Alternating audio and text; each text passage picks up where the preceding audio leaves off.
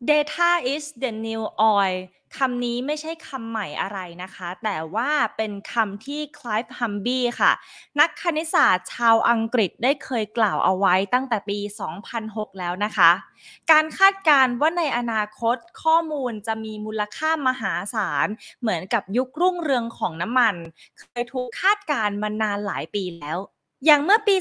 2017 The Economist ก็เคยลงบทความที่มีชื่อว่า The world's most valuable resource is no longer oil but data หรือหมายถึงสิ่งที่มีค่าที่สุดในโลกจะไม่ใช่น้ำมันอีกต่อไป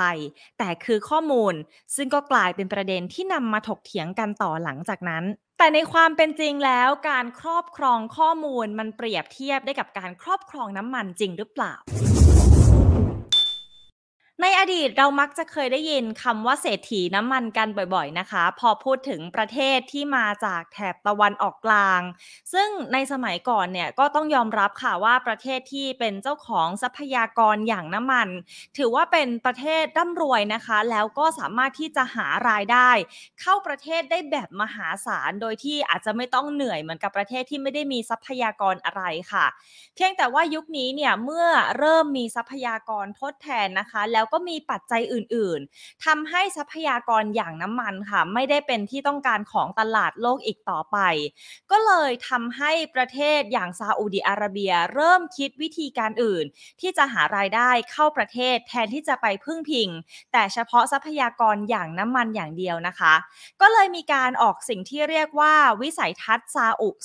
2030 ค่ะ เพื่อจะลดการพึ่งพิง การส่งออกน้ำมันและแรงงานต่างชาติเท่านั้นนั้นค่ะ แต่ว่าจะเน้นไปที่เรื่องของการพัฒนาเมืองแห่งอนาคตที่มีชื่อว่านีออม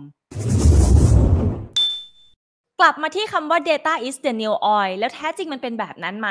เราสามารถเปรียบเทียบข้อมูลกับน้ำมันได้จริงหรือเปล่า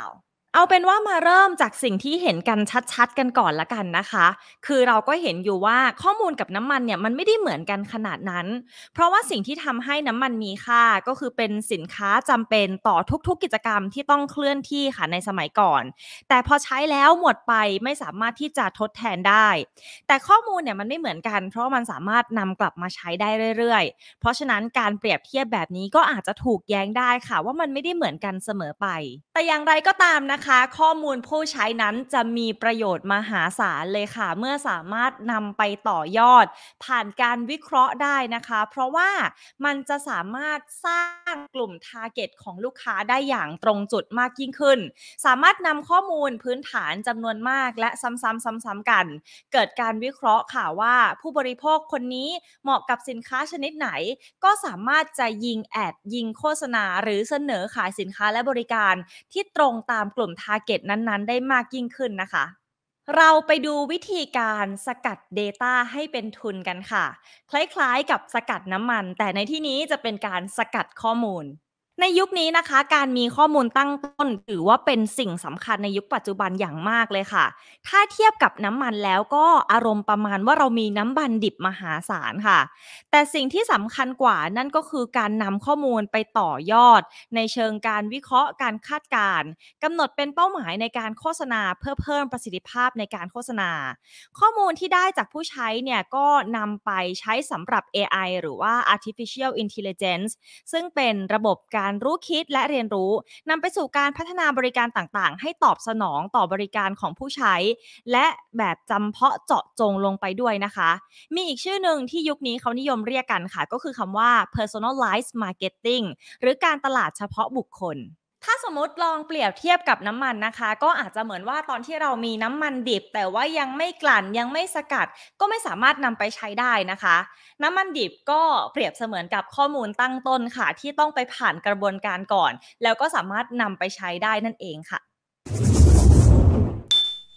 นี่จึงเป็นสาเหตุนะคะว่าทำไมกลุ่มของบริษัทเทคยักษ์ใหญ่เนี่ยเขาถึงมีข้อมูลผู้ใช้มหาศาล แล้วรวยเอารวยเอาค่ะ อย่างเช่น Facebook Google Alibaba Microsoft นะคะ เช่นเดียวกันค่ะกับธุรกิจที่เป็นสตาร์ทอัพใหญ่ ๆ อย่าง Grab Agoda Airbnb แล้วก็ Netflix เป็นต้นนะคะ บริษัทเหล่านี้เนี่ยมีข้อมูลของผู้ใช้ทั่วโลกจำนวนมหาศาลเลยค่ะ สิ่งต่างๆ เหล่านี้เนี่ยก็เลยถูกแปลงเป็นทุนทางข้อมูล หรือภาษาอังกฤษก็คือ data capital นะคะ ซึ่งจะสามารถต่อยอดสู่การทำการตลาดได้แบบ ไม่รู้จบ ประเด็นคำถามที่น่าสนใจก็คือว่าตอนนี้เนี่ยเหล่าบริษัทยักษ์ใหญ่ต่างผูกขาดข้อมูลของผู้ใช้เอาไว้ในมือค่ะ เพราะว่าพอเขามีข้อมูลเยอะมหาศาลแล้ว ก็สามารถที่จะทำการตลาดได้แบบตรงจุดนะคะ แล้วก็ปรับปรุงผลิตภัณฑ์ ปรับปรุงแพลตฟอร์มให้มีความ friendly มากยิ่งขึ้น ลูกค้าก็เข้ามาใช้ได้มากยิ่งขึ้นค่ะ ในขณะเดียวกันข้อมูลที่มีนะคะ ก็สามารถที่จะวิเคราะห์ได้แม่นยำมากขึ้น ถ้าเทียบกับบริษัทที่เป็นสตาร์ทอัพที่เพิ่งเกิดขึ้นมาใหม่ๆ ยังไม่มีข้อมูลผู้ใช้สักเท่าไหร่ ก็ไม่สามารถที่จะต่อยอดเพื่อพัฒนาธุรกิจนำไปสู่การแข่งขันได้นะคะ จนในที่สุดค่ะก็ทำให้เหลือแต่ธุรกิจที่เป็นรายใหญ่เหลืออยู่ในตลาดนะคะ หรือมีคำหนึ่งซึ่งตอนนี้ก็พูดกันบ่อยมากขึ้นนะคะ ก็คือ the winner takes all แปลเป็นภาษาไทยก็คือผู้ชนะกินรวบ เราไปดูปรากฏการณ์ที่เกิดขึ้นในต่างประเทศ แล้วหันมาดูที่เมืองไทยกันบ้างค่ะ ไปดูที่ต่างประเทศกันก่อนนะคะ เราก็จะเห็นว่าการที่บริษัทเทคโนโลยียักษ์ใหญ่ ไล่ซื้อแพลตฟอร์มต่างๆ อย่าง Facebook ก็ไปซื้อแพลตฟอร์มหลายสิบแพลตฟอร์ม อย่างที่เรารู้จักกันอย่างเช่น Instagram WhatsApp ในกรณีแบบนี้เนี่ยทาง Federal Trade Commission หรือว่า FTC ก็มีความเห็นว่า Facebook กำลังผูกขาดตลาด social network ในอเมริกา จนคู่แข่งรายอื่นไม่สามารถที่จะแข่งขันได้ หรือถ้าแข่งขันได้ก็ยากมากๆ และควรจะขายแพลตฟอร์มบางอย่างออกไปบ้าง เพื่อให้คนเนี่ยมันรู้สึกว่าได้แข่งขันกันบ้าง ไม่ใช่ว่า Facebook กินรวบคนเดียวอยู่แบบนี้ นอกจากนั้นนะคะ เราก็จะเห็นการร่วมมือกันเป็น partner ในทางธุรกิจจำนวนมากค่ะกับสตาร์ทอัพที่ทำแพลตฟอร์ม ในแง่หนึ่งนะคะแพลตฟอร์มก็ให้บริการออนไลน์กับเราผ่านทางแอปพลิเคชันในสมาร์ทโฟน แต่ว่าในอีกด้านหนึ่งค่ะ แพลตฟอร์มเหล่านี้เก็บข้อมูลผู้ใช้เชิงลึกอย่างละเอียดเลยค่ะ ว่าเราชอบดูอะไร เราใช้เวลานานแค่ไหนในการตัดสินใจ เรากดคลิกลิงก์อะไรบ้าง แม้ว่าจะมีการปกป้องข้อมูลส่วนบุคคล แต่เทคโนโลยีเนี่ยสามารถสร้าง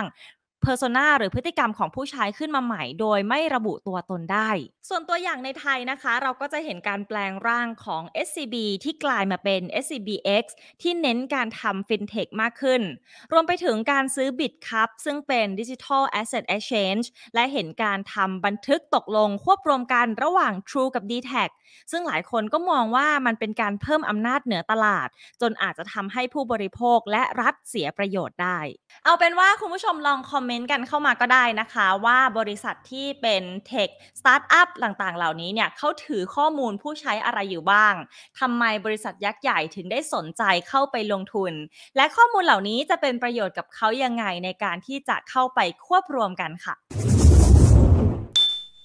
ในยุคที่ความเป็นส่วนตัวถูกตั้งคำถามมากขึ้นเรื่อยๆ ขณะเดียวกันหลายบริษัทก็พยายามจะหาวิถีทางต่างๆ ในการที่จะเข้าถึงข้อมูลส่วนตัวของผู้ใช้ให้มากที่สุด ในยุคนี้ก็ไม่รู้เหมือนกันว่าเรายังคงเหลือความเป็นส่วนตัวอยู่ไหมนะคะ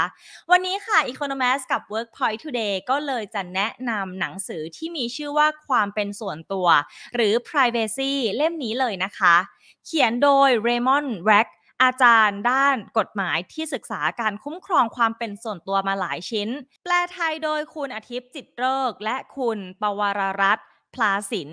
เวอร์ชันนี้ตีพิมพ์โดยสำนักพิมพ์ Open Worlds ค่ะ หนังสือเล่มนี้นะคะจะมีการตั้งคำถามสำคัญค่ะ ว่าในยุคที่เทคโนโลยีเข้ามามีส่วนสำคัญ พยายามที่จะเข้ามาสอดแนมชีวิตเราให้มากที่สุด แล้วตอนนี้เรายังคงมีความเป็นส่วนตัวเหลืออยู่หรือไม่